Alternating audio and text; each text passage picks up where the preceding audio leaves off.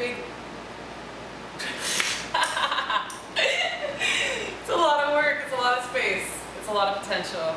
And I'm so ready to make this happen. All we need is a few thousand dollars in, of course, paint, materials to get this place ship-shaped. The location is incredible.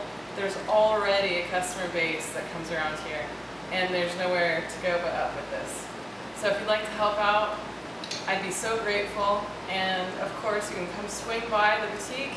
There's going to be art, clothing, and all kinds of other creative projects going on as well.